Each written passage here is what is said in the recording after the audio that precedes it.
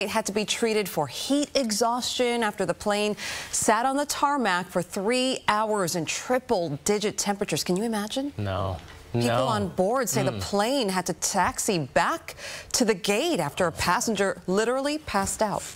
The EMTs rushed on. It just felt traumatizing. They were running back and forth with oxygen tanks. The gurneys were coming. The flight attendant passed out. It was something out of a movie. The flight was ultimately canceled and passengers were rebooked. Delta says it is looking into why it got so hot inside that plane.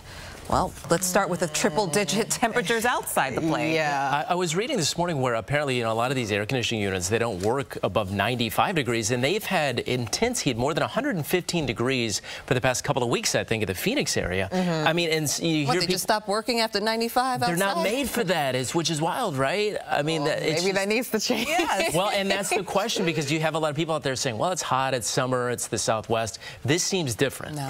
Yes.